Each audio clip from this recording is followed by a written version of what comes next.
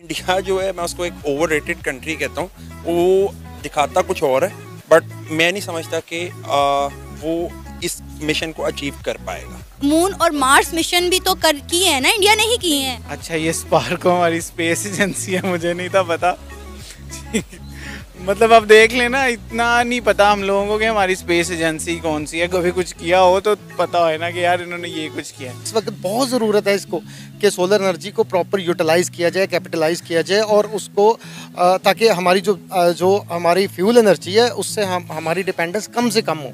तो इस पे डेफिनेटली बहुत सपोर्टिव होगा। दोस्तों भारत की स्पेस एजेंसी इसरो आए दिन नए मुकाम छू रही है। पहले चाँद पर जाकर पानी को ढूंढा और अब सूरज पर जाने की तैयारी कर रहा है भारत की स्पेस एजेंसी इसरो और आदित्य एल वन नाम का मिशन लॉन्च करने जा रहा है। तो आप लोग देखो इसरो की इस कामयाबी पर पाकिस्तान के लोग और पाकिस्तान की मीडिया क्या कहती है? इंडिया की जानिब से सोलर एक्सप्लोरेशन के लिए एक मिशन जो है वो लॉन्च होने जा रहा है ताकि जो है सन को स्टडी किया जा सके।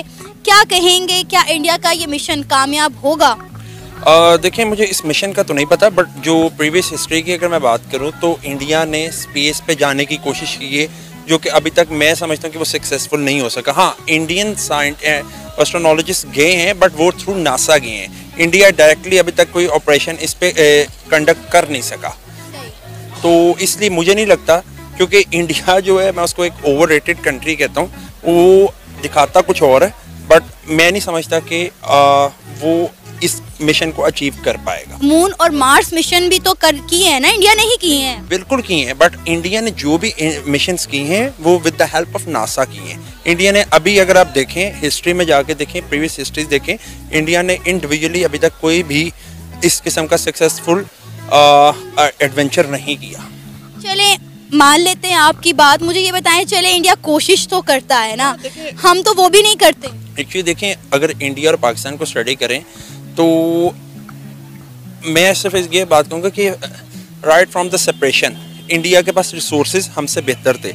और दूसरे नंबर पर अगर मैं जाके बात करूँ तो देखें इंडिया का एक पूरा आईटी सिटी है बेंगलोर पूरा उसका सिलिकॉन सिटी उसे कहते हैं। हमारे पास तो हम तो अभी ये किस्म के इसमें न्यू हैं। हम इस पर कोशिश कर रहे हैं। अच्छा अगर मैं इसको एक दूसरे पर्सपेक्टिव में लेके जाऊँ तो कुछ साइंटिस्ट हमारे भी हैं जो नासा में काम करें पाकिस्तानी ओवरसीज पाकिस्तानी। वो वहाँ पे काम करें बट पाकिस्तान के पास शायद इतने बजट्स ही नहीं है कि, क्योंकि हम अभी तक जो है ना देखें इंडिया के भी प्रॉब्लम्स हैं, हमारे बजट जो हैं, अगर मैं ऑन कैमरा बात करूँगा तो बड़े डिफरेंट चीज़ों में ना स्टक हुए मैं। राइट लाइक आर्मी का एक बजट है, और फिर मैं दूसरी बात करूँ कि अभी तक तो हमारी एजुकेशन उस लेवल पे नहीं है। तो हम कहाँ से इस किस्म का कोई ऑपरेशन लॉन्च करेंगे? कोई एडवेंचर कर पाएँगे? तो मेरा नहीं ख्याल कि हम अभी इस पोजीशन में है क्योंकि हम आज तक तो अभी तक रोटी कपड़ा और मकान से नहीं निकल पा रहे। सही आपने बहुत अच्छी बात की कि हम तक हम तो अभी तक रोटी कपड़ा मकान से ही निकले हैं तो हम इस तरह के मिशन किस तरह कर सकते हैं? अच्छा मैं आपसे ये चीज़ जानना चाहती हूँ कि अगर ये मिशन सक्सेसफुल हो जाता है तो इससे कितना फ़ायदा होगा? क्योंकि सोलर एक्सप्लोरेशन के लिए मिशन किया जाएगा तो क्या लगता है इससे एनर्जी जो है सोलर एनर्जी उसमें कितनी बेहतरी आएगी? देखिए, सबसे पहले तो ये है कि खाली अगर मैं अभी हम जो बात कर रहे हैं, शायद वो इंडिया का अगर मिशन जो कि मुझे एक परसेंट लगता है कि पॉसिबल या वो पॉजिटिवली इसको अचीव कर पाएँगे, सिर्फ़ एक परसेंट। अगर वो कर भी लेते हैं तो इसकी फर्दर स्टडीज़ को करते हुए एक या दो डैकेट लग जाएँगे। लेकिन अगर हम इसको इस तरीके से ये देख सकते हैं कि आने वाले टाइम में अगर इंडिया ये सक्सेसफुली कर लेता है तो आने वाले टाइम में दूसरे मुल्कों को इससे सीखने का मौका मिलेगा। हमारी स्पेस एजेंसी का क्या नाम है? स्पार्को स्पार्को मैंने उनको कभी न्यूज़ में भी नहीं देखा। So basically we are doing nothing they are actually trying to do something तो I would say it's good for like overall दुनिया के लिए भी बेहतर है। इंडिया कई मिशन करता रहा है और कर रहा है। क्या वजह है कि हम ऐसी चीज़ें करते हुए क्यों नज़र नहीं आते? जैसे आपने खुद ही कुछ कहा यही बात की कि हमें नहीं पता कि वो कुछ कर रहे हैं या नहीं कर रहे हम तो हर चीज़ में पीछे हैं जी। मतलब हम आ, हम लोग आपस की लड़ाइयों में ना पॉलिटिक्स चल रही है यहाँ पर हमारा कोई भी इदारा उस सही तरह से वर्क नहीं कर रहा। तो हमारी स्पेस एजेंसी भी वर्क नहीं कर रही। ठीक है also we don't do like हमारी जो क्रीम है I think this is a fact वो सारी बाहर चली जाती है। ठीक है तो हमारा कोई भी इंफ्रास्ट्रक्चर ठीक से है नहीं किसी इदारे का। तो कोई भी किसी का इंटरेस्ट नहीं है हमारी गवर्नमेंट का भी इंटरेस्ट नहीं है इस काम के अंदर। हमारे पास फंड्स भी नहीं है ऊपर से हम गरीब मुल्क हैं ठीक है? तो ये सारे इश्यूज़ हैं। That's why we are not contributing in this science and stuff तो होप फॉर द बेस्ट हम कब तक अपनी इन मजबूरियों का इन मसाइल का रोना रोते रहेंगे? इनसे बाहर कब निकलेंगे और कोई डेवलपमेंट कब करेंगे? हमने क्या तरक्की याफ्ता मुल्क कभी नहीं बनना? हम इसी तरह तरक्की पजीर ही रहेंगे। हम जी 500 साल पीछे हैं। दुनिया से। अच्छा अगर आप वेस्टर्न को स्टडी करें ना वेस्ट को आपको पता लगेगा कि कुछ स्टेट्स से हम 200 और कुछ से हम 500 साल पीछे हैं। तो अभी तो कोई उम्मीद नहीं है। इन फ्यूचर शायद आई थिंक अगर खान आ जाए तो। मुझे लगता है पाकिस्तान की आवाम भी मायूस हो चुकी है अपनी गवर्नमेंट से कि वो शायद कुछ करे इस मुल्क के लिए। ऐसे ही है। यू आर राइट अब अ, हमारी गवर्नमेंट बेसिकली अवाम सेलेक्ट ही नहीं करती ना। कोशिश करते हैं बट वो सारा प्रॉब्लम है। वोटिंग सिस्टम हमारा नहीं ठीक फिर इदारों का कंट्रीब्यूशन है उसमें। So on and so forth problems इतने ज़्यादा हैं कि even I can't completely explain कि क्या मसला है। पान इंडिया सोलर एक्सप्लोरेशन के लिए एक मिशन लॉन्च करने वाला है जिसका नाम है आदित्य एल वन और ये इंडिया की जानब से सूरज की तरफ़ भेजा जाने वाला, सूरज को स्टडी करने के लिए भेजा जाने वाला पहला मिशन होगा। क्या कहेंगे, क्या लगता है, इंडिया अपने इस मिशन में किस हद तक कामयाब होने के चांसेस हैं? इंडिया में देखा जाए तो बहुत ज़्यादा टैलेंट है तो कामयाब तो हो ही जाना चाहिए। उन्होंने पहले भी इस तरह के मिशन आई थिंक परफॉर्म किए हैं।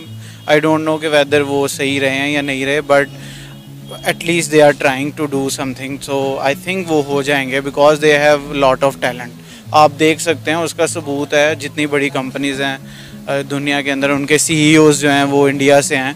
So they will be successful I think अच्छा क्या फ़र्क देखते हैं आप हमारी स्पेस एजेंसी स्पार्को में और इंडिया की स्पेस एजेंसी इसरो में? अच्छा ये स्पार्को हमारी स्पेस एजेंसी है मुझे नहीं था पता। मतलब आप देख लेना, इतना नहीं पता हम लोगों को कि हमारी स्पेस एजेंसी कौन सी है। कभी कुछ किया हो तो पता हो ना कि यार इन्होंने ये कुछ किया है। So it's a funny part basically तो फ़र्क क्या है कि इंडिया देखें कितने बड़े बड़े मिशन लॉन्च कर रहा है, यही फ़र्क है। अब इसी से पता चलता है कितना डिफरेंस है उनके और हमारे बीच के अंदर।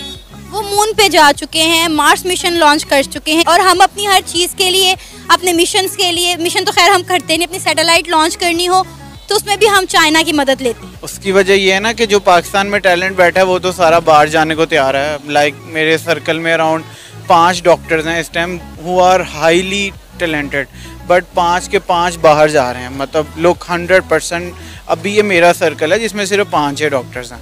लाइक मैं खुद बाहर जाने के लिए तैयार हूँ। जितना टैलेंट है सारा तो हम वेस्ट कर देते हैं। ना रिसोर्सेज हैं, सारा पॉलिटिशियंस जो हैं वो अपने मफादात के लिए यूज़ कर लेते हैं। सिंपल इज़ दैट वो अब नज़र भी आ रहे हैं उसके। देखें, हमारे पास टैलेंट है, हम निकल जाएँगे बाहर। फिर क्या होएगा? अब जिन्होंने ख़राब किया, मुल्क वही ठीक करें, अब हम क्या कर सकते हैं? अच्छा अगर इंडिया का ये मिशन सक्सेसफुल हो जाता है तो इससे सोलर एनर्जी को है कितना बूस्ट मिलेगा? कितनी बेहतरी आ सकती है उसमें? ऑब्वियसली इट्स अ बूस्ट और मैं तो दुआ करता हूँ कि उनका मिशन कामयाब हो। और ये पूरी दुनिया के लिए बहुत ज़्यादा एनर्जी कितनी ज़्यादा सेव हो जाएगी सोल, सोलर की वजह से। और कितने ज़्यादा प्रॉब्लम्स मतलब सॉल्व हो जाएँगे आपके। इस पूरी दुनिया के लिए ये बहुत अच्छी काम। दोस्तों भारतीय स्पेस एजेंसी इसरो आए दिन नए मुकाम छू रहा है और दुनिया में भारत का नाम रोशन कर रहा है। पहले चाँद पर जाकर इसरो ने पानी को ढूंढा और अब साउथ साइड में जाने वाला पहला देश होगा भारत। ये इसरो की कामयाबी है और अब चाँद पर जाने के बाद में इसरो ने तैयारी कर ली है सूरज पर जाने की। आदित्य एल वन नाम का मिशन लॉन्च कर रहा है। आप लोगों ने देखा, इस पर पाकिस्तान के लोग कहीं ना कहीं दुखी है। पाकिस्तान की स्पेस एजेंसी इस्पार को, जिसने आज तक एक सैटेलाइट तक लॉन्च नहीं किया, और बात बात और कंपटीशन करते हैं भारत से। और इसरो की कामयाबी कहीं ना कहीं आप लोगों ने देखा। पाकिस्तान के लोगों के पचती नहीं है और पाकिस्तान के लोग कहीं ना कहीं दुखी है इसरो की इस कामयाबी से। दोस्तों, भारत की स्पेस एजेंसी इसरो ने 300 से ज़्यादा सैटेलाइट लॉन्च किए और इसरो ने दूसरे देशों की भी मदद की और दूसरे देशों के भी सैटेलाइट आसमान में पहुँचाने में खूब हेल्प की। तो आप लोगों ने देखा इंटरेस्टिंग वीडियो था। आप लोगों को खूब मज़ा आया होगा। अगर वीडियो अच्छा लगा हो तो मेरे चैनल को लाइक करना शेयर करना और सब्सक्राइब करना। मैं मिलता हूँ ऐसी एक इंटरेस्टिंग वीडियो में।